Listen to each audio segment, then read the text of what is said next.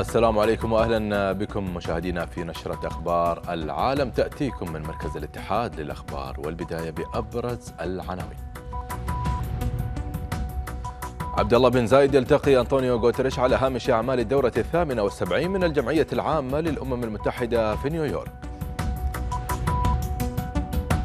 ودولة الإمارات تؤكد خلال بيان أمام الجمعية العامة للأمم المتحدة أهمية الحفاظ على نظام دولي قائم على احترام سيادة الدول وسلامة أراضيها.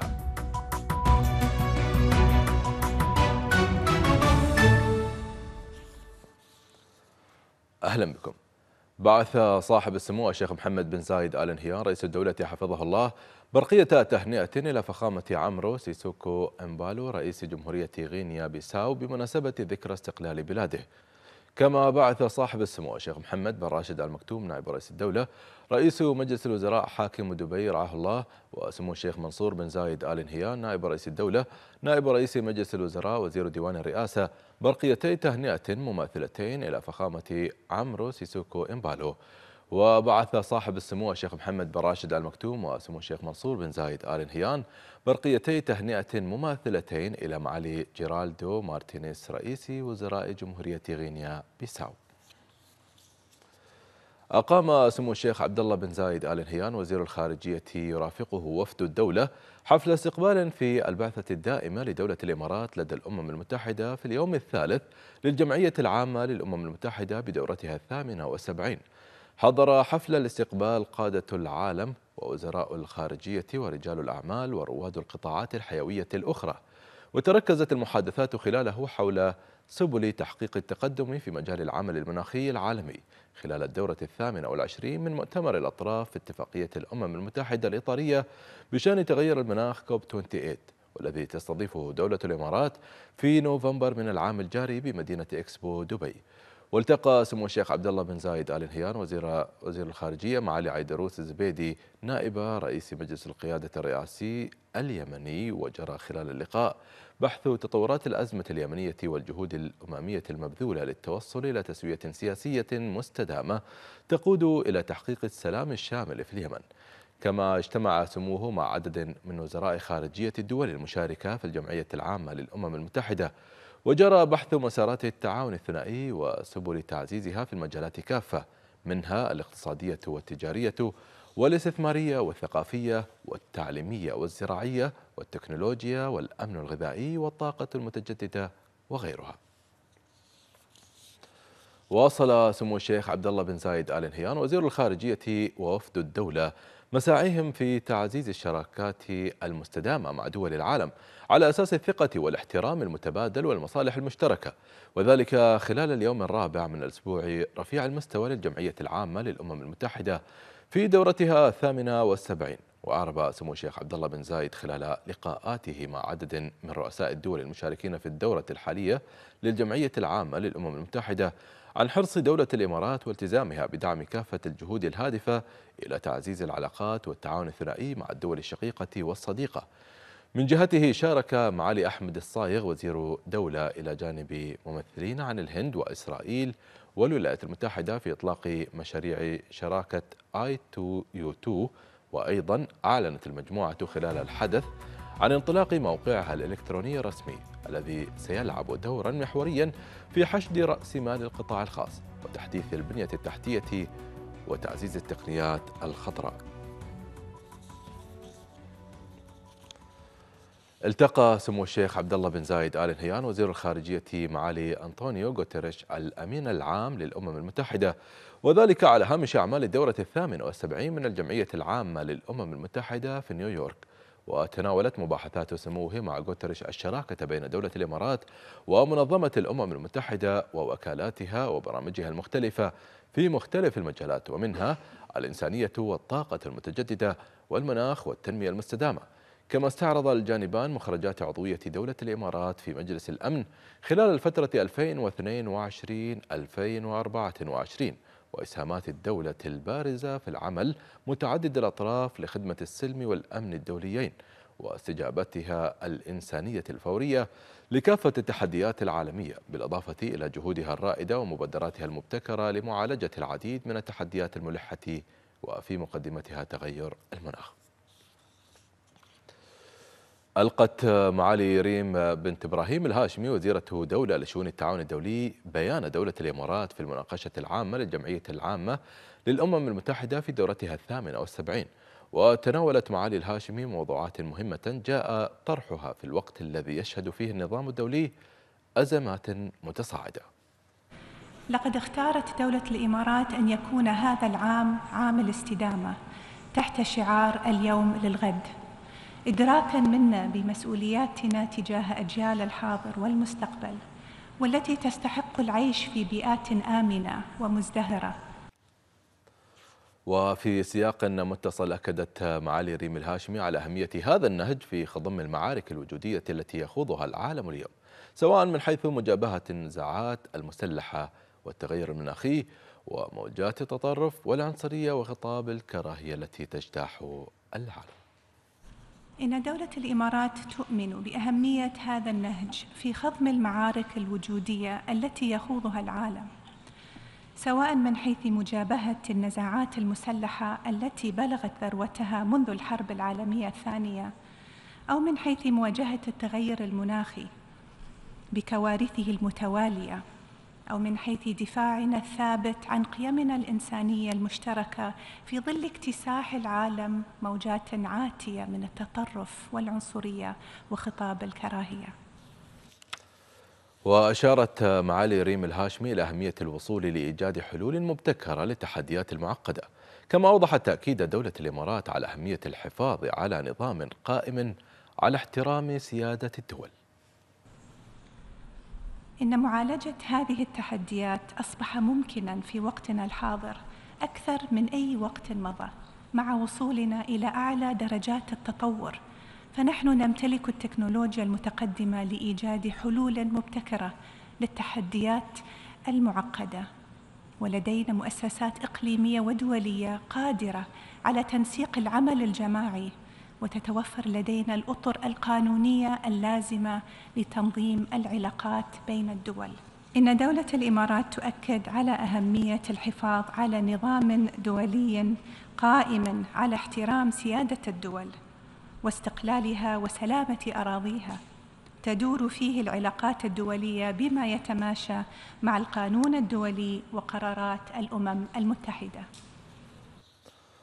وتناولت معالي الهاشمي قضية مطالبة دولة الإمارات إيران بأنهاء احتلالها للجزر الإماراتية الثلاث طنب الكبرى وطنب الصغرى.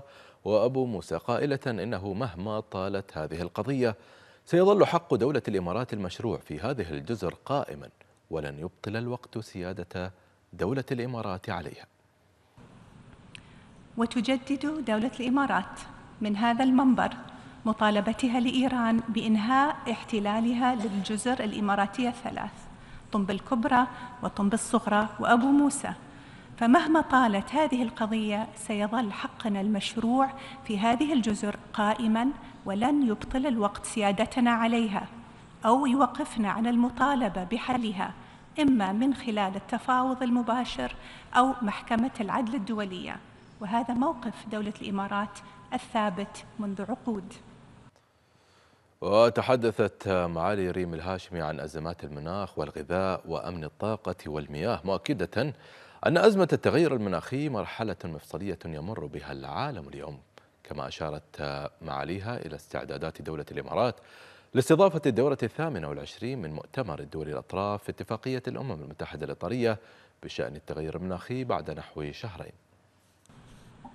وحين نتحدث عن أزمة التغير المناخي فإننا نتحدث عن مرحلة مفصلية يمر بها عالمنا اليوم. لقد أكدت نتيجة أول حصيلة عالمية لتقييم التقدم في تنفيذ أهداف اتفاق باريس أن العالم بعيد عن المسار الصحيح وأننا نحتاج إلى تغيير جذري لتفادي ارتفاع درجة حرارة الأرض فوق مستوى درجة درجة ونصف مئوية. وقد يرى البعض هذا مستحيلا ولكن بلادي تراه ممكنا. ومن هذا المنطلق ستركز الدورة الثامنة والعشرين من مؤتمر الدول الأطراف في اتفاقية الأمم المتحدة الإطارية بشأن التغير المناخي والتي تستعد دولة الإمارات لاستضافتها بعد نحو شهرين على تكثيف التعاون الدولي لتحقيق أعلى الطموحات الممكنة. حيث تركز خطة عمل المؤتمر على أربعة محاور أساسية. وأوضحت معالي ريم الهاشمي أن دولة الإمارات تبذل جهودا كبيرة من أجل إيجاد نماذج جديدة من التعاون الدولي في مجال ندرة المياه وجعل هذه المسألة في صدارة أولويات العمل متعدد الأطراف.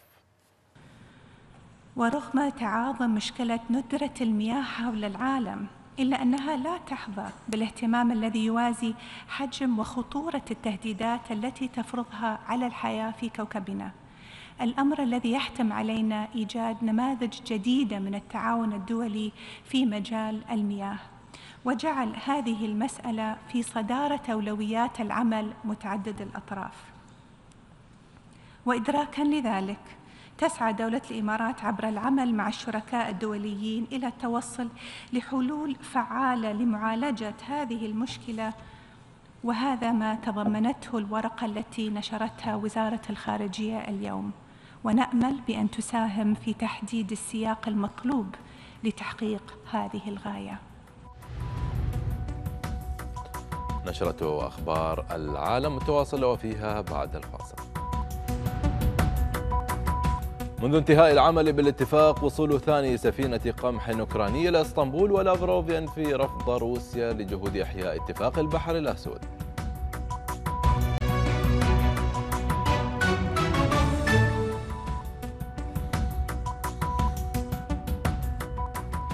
أهلا بكم من جديد في نشرة أخبار العالم.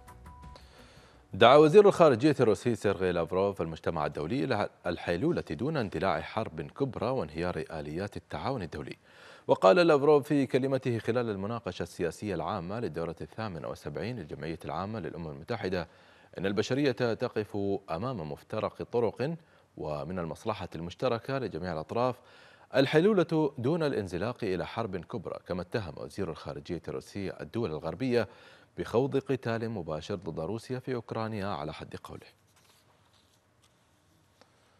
في سياق آخر قال سيرغي لافروف إن موسكو لا ترفض جهود الأمم المتحدة لإحياء اتفاق تصدير الحبوب عبر البحر الأسود لكن أحدث اقتراح لها في هذا الصدد غير واقعي وكان الأمين العام للأمم المتحدة قدم مقترحا من أربع نقاط في إطار جهود إعادة إحياء اتفاق الحبوب.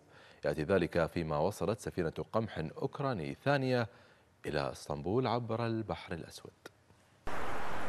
اتفاق تصدير الحبوب عبر البحر الأسود المعلق لم يجد طريق العودة حتى الآن. فروسيا التي أوقفت العمل بالاتفاق منذ يوليو الماضي تؤكد أنها لم تحقق مطالبها وأن المقترحات الأممية الأحدث لا يمكن تنفيذها. وقد وضح وزير الخارجية سيرجي لافروف بعد خطابه أمام الجمعية العامة أن بلاده لا ترفض جهود الأمم المتحدة لكن اقتراحها في هذا الصدد غير واقعي. نحن لا نرفضها إنها ببساطة غير واقعية. لم نرى عودة البنك الزراعي الروسي إلى النظام سويفت العالمي ولم نرى حلا يسمح لروسيا بالوصول دون عوائق إلى موانئ البحر الأبيض المتوسط وغيرها ولا حلا لمسألة التأمين. وتتلخص المقترحات الأممية الأربعة في رفع الاتحاد الأوروبي للعقوبات المفروضة على البنك الزراعي الروسي وتجاوز القيود المرتبطة بالانفصال عن سويفت للمدفوعات وتأمين سفن الشحن الروسية في البحر الأسود والإعادة الجزئية للأصول الروسية المجمدة إضافة إلى السماح لسفن الشحن الروسية بالرسو في موانئ دول الاتحاد الأوروبي. وفي الطرف الآخر الاتفاق المجمد حتى الآن تحاول أوكرانيا الالتفاف على الحصار المفروض منذ انتهاء العمل بالاتفاق حيث وصلت سفينة قمح أوكراني ثانية إلى اسطنبول عبر البحر الأسود وفق ما أفادت مواقع متخصصة في متابعة حركة الملاحة البحرية.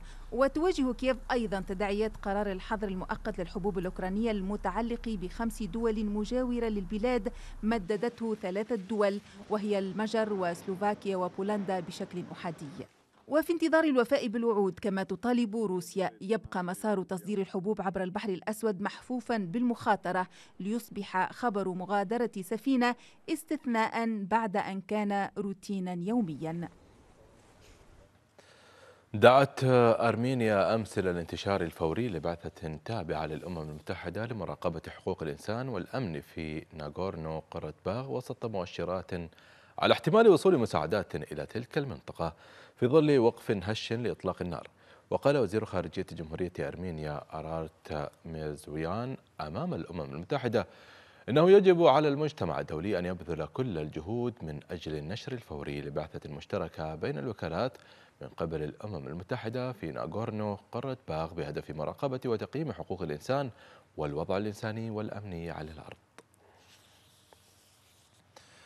قالت قيادة إقليم ناغورنو قراباغ الانفصالي إن 120 ألفا من عرقية الأرمن في المنطقة سيغادرون إلى أرمينيا. وقال رئيس وزراء أرمينيا نيكول باشينيان أيضا إنه من المرجح أن يغادر الأرمن المنطقة وأن بلاده مستعدة لاستقبالهم. وتقول أذربيجان أنها ستضمن حقوقهم وتدمج المنطقة في باقي البلاد لكن السكان المحليين يخشون من صدامات عرقية. أبلغ وزير الخارجية الأمريكي أنتوني بلينكن أرمينيا أن الولايات المتحدة تشعر بقلق عميق حيال السكان من العرقية الأرمينية في ناغورنو قراباغ مضيفا أنها سعت لتأمين الحماية لهم مع تعزيز أذربيجان سيطرتها على الإقليم. وقال المتحدث باسم الخارجية الأمريكية ماثيو ميلر أن الولايات المتحدة تدعو أذربيجان إلى حماية المدنيين والوفاء بالتزاماتها باحترام حقوق الإنسان والحريات الأساسية لسكان ناغورنو قراباغ وضمان امتثال قواتها للقانون الإنساني الدولي. قال الرئيس الصيني شي جين بينغ خلال لقائه مع رئيس وزراء كوريا الجنوبية هان دوك سو إن بلاده عازمة على العمل مع كوريا الجنوبية لتعزيز الشراكة الاستراتيجية التي ستتطور مع الوقت. وأفاد تلفزيون الصين المركزي بأن شي أجرى محادثات مع هان في مدينة هانغ تشو شرقي الصين قبل حفل افتتاح دورة الألعاب الآسيوية.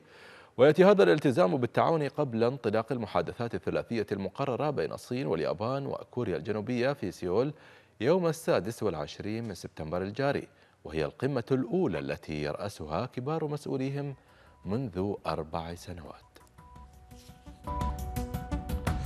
وصلنا إلى نهاية نشرة أخبار العالم وقبل الختام هذا تذكير بأبرز العناوين.